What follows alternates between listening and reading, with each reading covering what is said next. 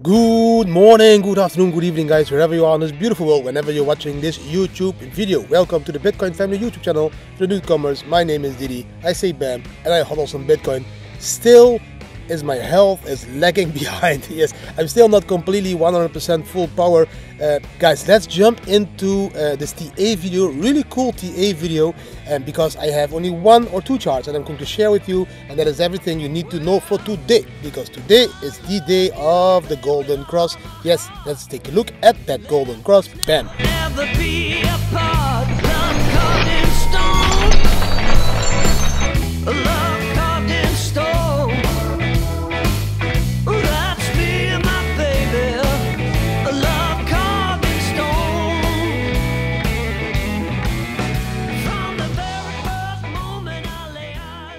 Over here. Last time I told you the daily moving average, DMA, and the 50 and the 200, when they crossed each other, that was lagging behind. Because the crash was over there. Just take a look over here. This was the crash. You see? Bam, we went down. And the cross was only over there. That was a long time after the crash. That was the daily moving average. Now, if we want to be more accurate, then we can take a look at this one over here. Bam! This is the 50 daily exponential moving average crossing the 200 daily exponential moving average. If you want to know the difference, just Google the difference.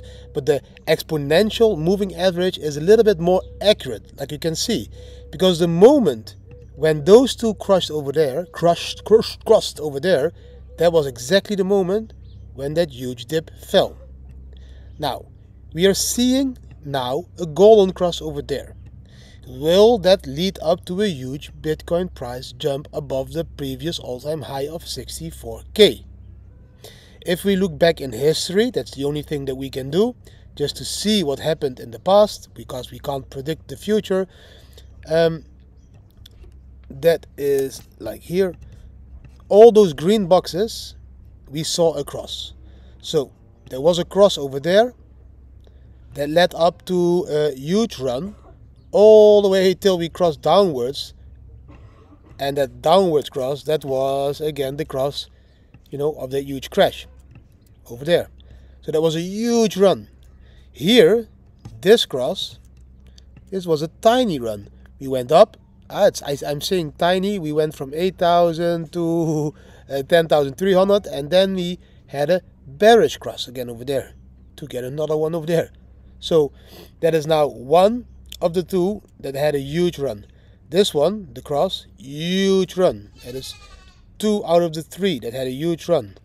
Let's go back all the way to 2017 now because that is uh, the previous time. Here, this was the bearish cross.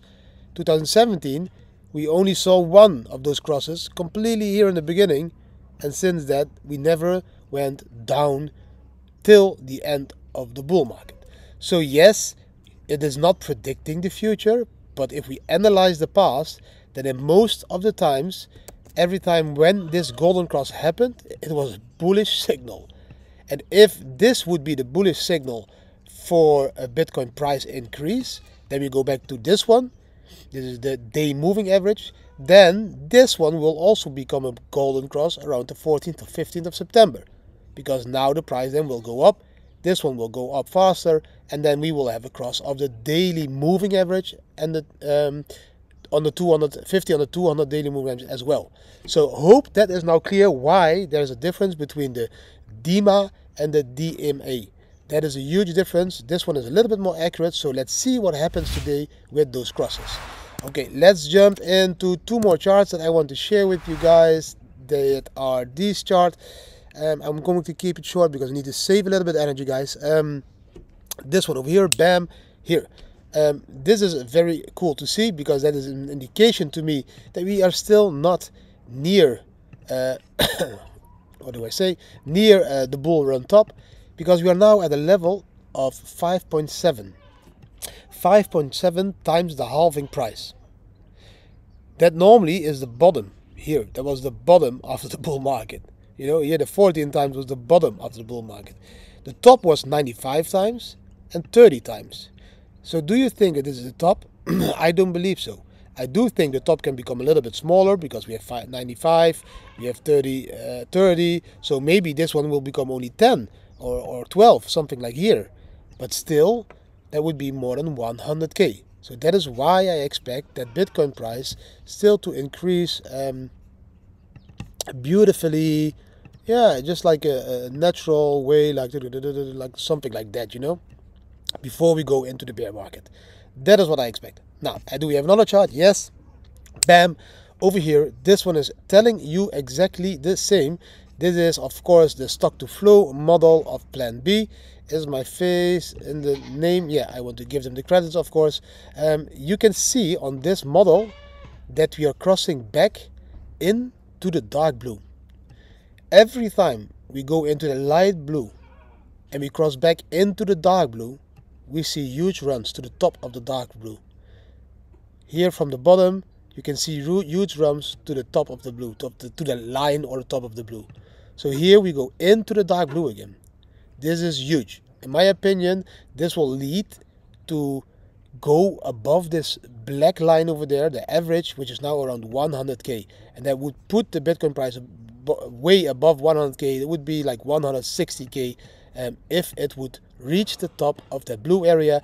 If we would go above the light blue area, like we did in the previous runs, guys, then we could reach these levels over there of almost 200 to 300k. So that is how I look and zoom out into the charts. Okay guys, that was really everything for today. Um, bam, uh, short but powerful video. I hope you really enjoyed it. Um, if you did enjoy it, give it a thumbs up, share with your friends and family, subscribe to the channel, hit the notification bell, and please leave a comment. What do you think about these charts? When 50k, 100k, just let me know down below guys. Thanks for watching. Always remember to zoom out in Bitcoin and try to zoom in at life. Try to enjoy every single minute of the day as that is exactly what life should be about. Thanks for watching and see you tomorrow again guys. Bam!